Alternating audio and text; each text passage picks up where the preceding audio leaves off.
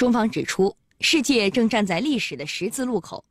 人类社会面临前所未有的全球性挑战，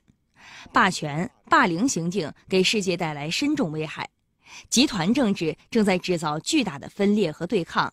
维护联合国宪章的紧迫性、重要性进一步上升。中方呼吁各国践行真正的多边主义，在联合国旗帜下加强团结，提升全球治理体系有效性。实现共同安全，促进共同发展，开辟共同未来。中方表示，必须坚定捍卫联合国宪章的权威和效力，必须保障各国平等参与国际事务，必须坚定维护以国际法为基础的国际秩序，必须抵制违反国际法的单边制裁。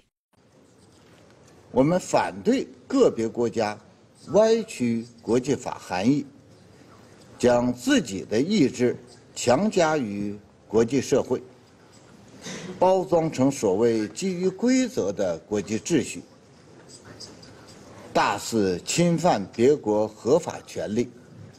破坏国际法治。我们也反对将国际协议视同儿戏，要么肆意撕毁协议，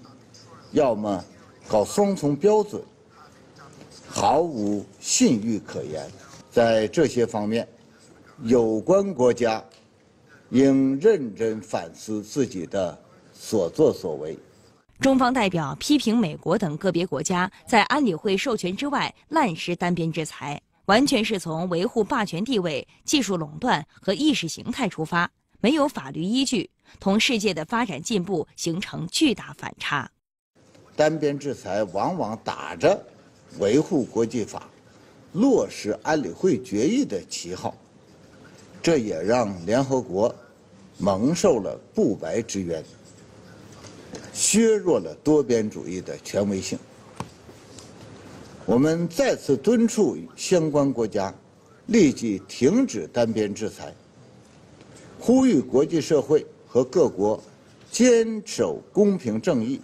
和独立自主，共同抵制和反制这些非法行为。